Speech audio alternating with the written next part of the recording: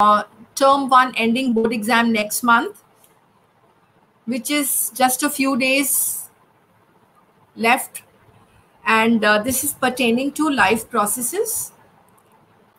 So uh, in case study type of questions, you will have a passage which may be based on a context or it may be based on a tabulation or a graph or it may be uh, based on a real life situation and it will be followed by multiple choice questions. So uh, you may not actually get the answer from the passage but the questions will definitely be based on that particular concept. So uh, let's look at the passage here. Digestion is a catabolic process in which complex and large components of food are broken down into their respective simpler and smaller forms with the help of various hydrolytic enzymes. In humans, the process of intake of essential nutrients in the form of food takes place through an entire system known as digestive system. The digestive system in humans include alimentary canal and its associated digestive glands this is the passage given to you and it's clear that it is uh, uh, related to the digestion process. All right? So identify the cells whose secretion protects the lining of gastrointestinal tract from various enzymes. All of us know that the gastric lining in the gastric glands acid is produced, which is hydrochloric acid. So if the gastric lining is not protected, the acid can cause harm to the gastric lining. All right. So the question says, which type of cells protect the gastric lining? Now, these are your options. Duodenal cells, chief cells, goblet cells, oxyntic cells. Now, all of them have some purpose to perform. Oxyntic cells produce the acid, the hydrochloric acid in the gastric cavity. Goblet cells are also called mucus cells. They produce the mucus. Chief cells produces the pepsinogen enzyme. Pepsinogen is an inactive form which will be activated to pepsin, which acts on the proteins. Duodenal cells secrete bicarbonate into the lumen, which actually neutralizes the acidity in the chyme, which comes from the stomach. All right. So out of all these cells, goblet cells are the ones which are also called mucus cells. They secrete mucus and mucus forms an entire, you know, it covers the inner lining of the gastric cavity and thus it protects it from the various enzymes and also the acid. So the right answer should be goblet cells. Yes, they are present throughout the epithelium of the gastric glands. They secrete mucus, which protects the gastrointestinal lining from the enzymatic action. So let's move on to the next question. Digestion of proteins is incomplete in the absence of enterokinase. Enterokinase is an intestinal enzyme because these are the four options given to you. Trypsinogen is not converted to trypsin. Pepsinogen is not converted to pepsin. Prorenin is not converted into renin chymotrypsinogen is not converted to chymotrypsin. Now, you must understand, children, this is an intestinal enzyme. Pepsinogen and prorenin, they are present in the stomach. Pepsinogen is an inactive form which will be converted into pepsin in the stomach. But this enzyme is in the intestine. So we can eliminate option B. Same way, prorenin is converted to renin. It is present in the gastric cavity of infants. So it helps in the digestion of milk protein casein. It helps in the curdling of milk. So this also is in the gastric cavity. C option also can be eliminated. Now we are left with A and D. if you have read in details, you will understand that enterokinase first converts trypsinogen into trypsin and trypsin converts chymotrypsinogen into chymotrypsin, which finally acts on the proteins and converts it into peptides. Okay, so the correct option should be A. Enterokinase actually converts trypsinogen into trypsin. So the if enterokinase is absent, trypsinogen will not be converted into trypsin. That's the right answer. If there is no trypsin, chymotrypsinogen also will not be converted into chymotrypsin. But enterokinase first catalyzes the conversion of trypsinogen into trypsin. All right. You got to match the column 1 with column 2 and 3. So column 1 gives you the substrate. Column 2 gives you the enzymes. Column 3 gives you the product. All right. So see, you must note that the substrates have the suffix OSE and the corresponding enzyme would have the suffix ASE. So it's like lactase would act on lactose. Galactase would act on galactose. You know, fructase would act on fructose like that. So substrate has the suffix OSE and enzyme ASE. Now we got to match here. Lactose, so as I told you, it should match with C. And uh, this is the milk, milk sugar, which will be catalyzed by the enzyme lactase to convert it into galactose, which is a disaccharide.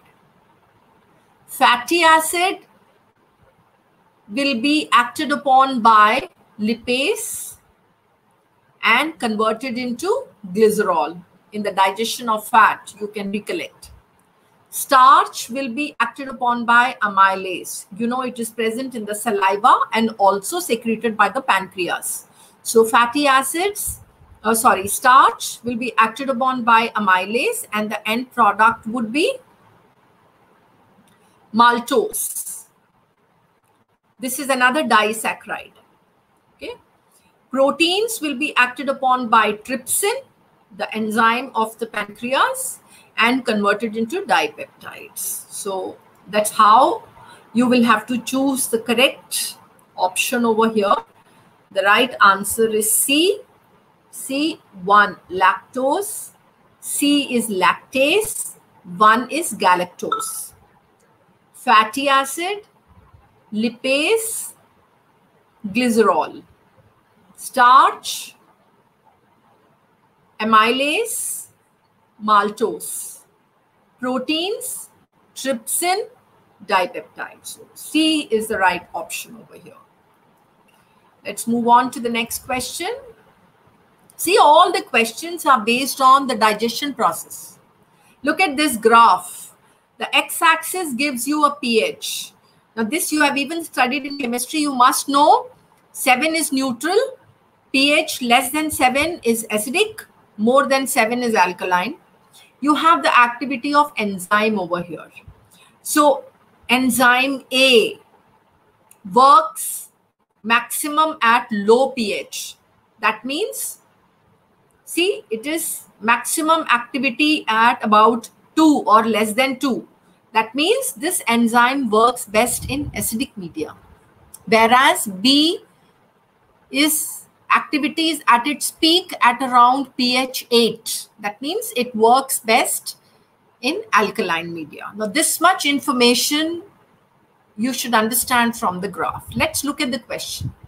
A and B in the given graph are the action spectra of two enzymes. The two enzymes are, now you'll have to make a guess amylase and trypsin.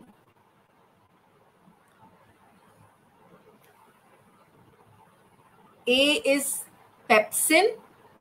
Whatever you know, first you eliminate that. Pepsin and trypsin. We know that pepsin is in the stomach. And we know that stomach has hydrochloric acid, which makes the media acidic. So pepsin should work more in acidic media. Same way trypsin is secreted by the pancreas. And pancreatic enzymes are poured in the duodenum where the medium is alkaline. So this seems correct. Let us look at others. Chymotrypsin is again in the intestine and in the duodenum, the first part of small intestine, where the medium is alkaline. But here it shows maximum activity at in the acidic media, so this can be ruled out. Renin is present in the stomach. It will definitely not work in alkaline media. In the stomach, it is acidic. So this is ruled out. A lactate dehydrogenase, B is amylase. See, amylase uh, works optimally at pH 7, near about 7.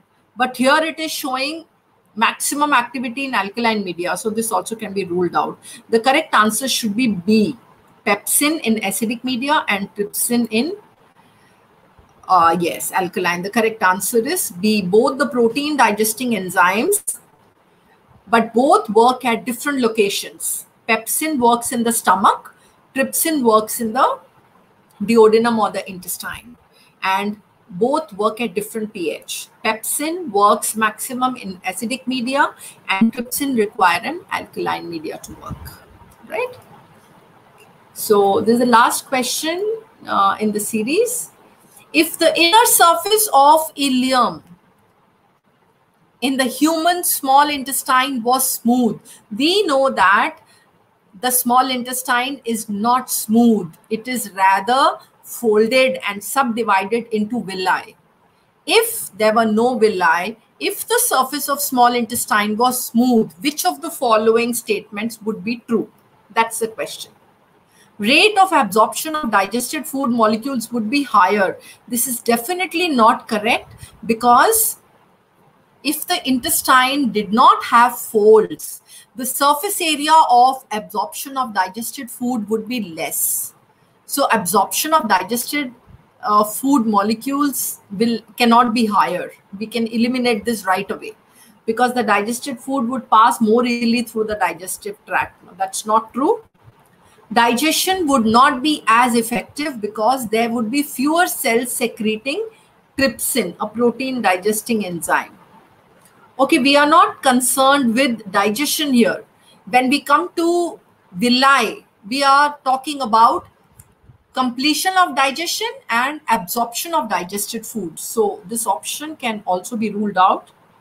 Humans would have needed to evolve a much longer small intestine to absorb sufficient nutrients from their food.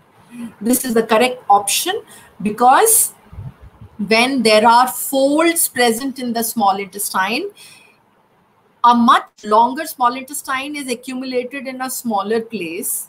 But if there were no villi and no folds, then to increase the surface area for absorption of digested food, a much longer small intestine would be required.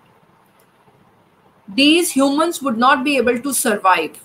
No, this is this is also not true because the digestive tract would be more susceptible to damage. This is also not true the right answer should be C. Humans would have needed to evolve a much longer small intestine to absorb sufficient nutrients from its food. So that was the last question of this series. Please do join One Mark family.